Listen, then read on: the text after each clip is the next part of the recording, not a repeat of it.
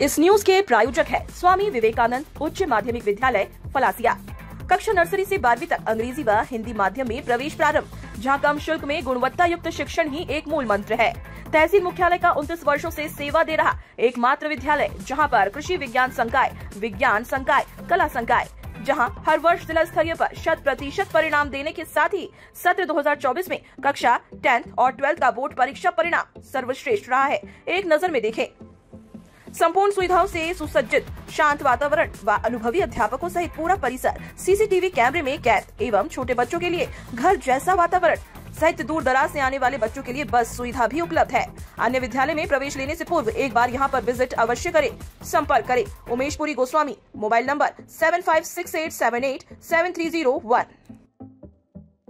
मुख्यमंत्री नीतीश ने आज 75 कर्मियों को दिया नियुक्ति पत्र। पटना सचिवालय में कार्यक्रम भूमि सुधार विभाग में 9,888 को बांटा जाना है ज्वाइनिंग लेटर।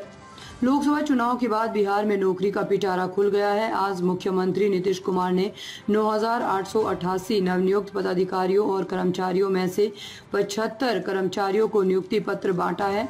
बता दें कि बिहार सरकार चुनाव के बाद पहली नियुक्ति पत्र राजस्व एवं भूमि सुधार विभाग के कर्मियों को देने जा रही है। राजस्व एवं भूमि सुधार विभाग के नवनियुक्त नौ पदाधिकारियों और कर्मचारियों को नियुक्ति पत्र बांटने के लिए मुख्य समारोह पटना स्थित सचिवालय के संवाद कक्ष में आयोजित किया गया। इस दौरान नीतीश कुमार ने खुद अपने हाथों से अमीन को कानूगो समेत अन्य पदों पर नियुक्त हुए कर्मियों को ज्वाइनिंग लेटर सौंपा। राजस्व एवं भूमि सुधार विभाग से मिली जानकारी के मुताबिक सबसे अधिक आठ हज़ार पैंतीस विशेष सर्वेक्षण, सात सौ बयालीस विशेष सर्वेक्षण लिपिक, सात सौ अठावन विशेष सर्वेक्षण कानूगो और तीन सौ तिरपन विशेष सर्वेक्षण सहायक बंदोबस्त पदाधिकारियों को नियुक्ति पत्र दिया जाएगा। इस मौके पर सीएम नीतीश, मुख्य सचिव ब्रिजेश मेहरोत्रा के अलावा राजस्व एवं भूमि सुधार मंत्री दिलीप कुमार जायसवाल, विभागीय अपर मुख्य सचिव दीपक कुमार सिंह मौजूद थे।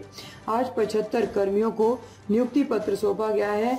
वहीं विशेष नवनियुक्त कर्मियों को संबंधित जिलों में डीएम कार्यालय आयोजित कर नियुक्ति पत्र बांटेंगे।